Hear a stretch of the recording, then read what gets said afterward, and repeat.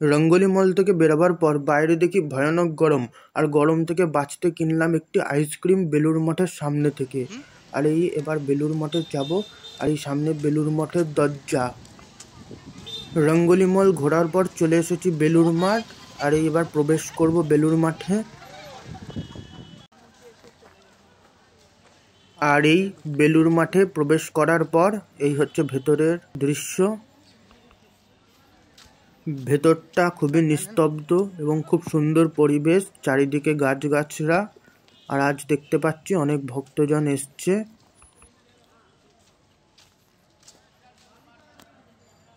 সামনে নদী। আর আমরাও এগিয়ে যাচ্ছি। শ্রীরামকৃষ্ণর দর্শন করব এই মনস্কামনা নিয়ে। আমিও সেটাই ভাবছিলাম।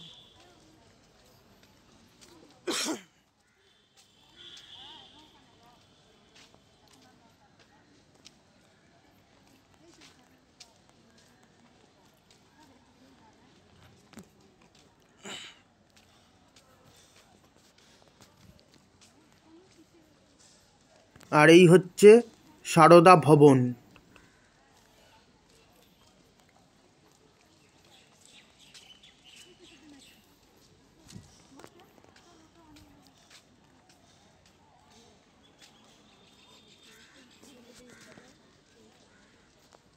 ভেতরের পরিবেশ সত্যি খুব সুন্দর। বিকেল হয়ে গেছে আর চারিদিকে পাখির ডাক শোনা যাচ্ছে।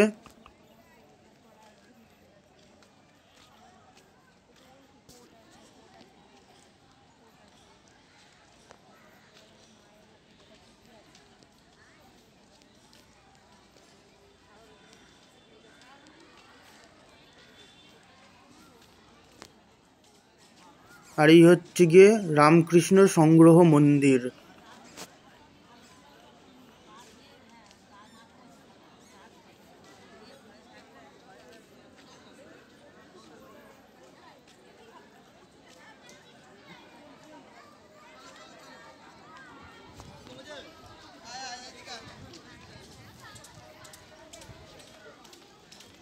আর এদিকে ডান দিকে চোখে পড়ল খুব সুন্দর ফুলের সাজ।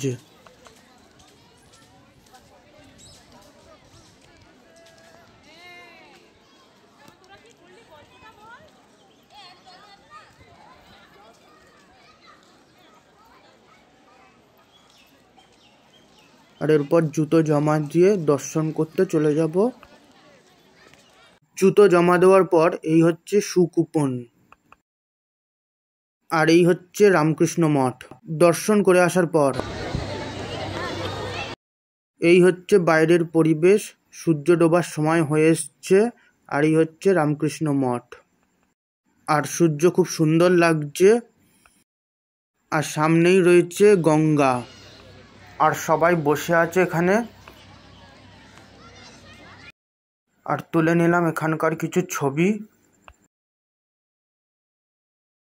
আর গাছের ওপর রয়েছে পাখির বাসা।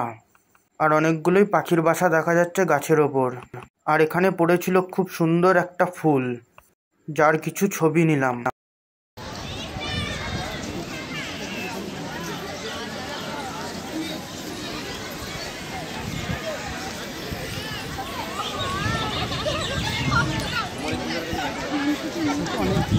অনেক দিন হয়ে গেছে ঘাটটা দেখি।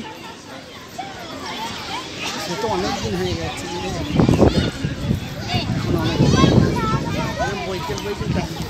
Mobile garage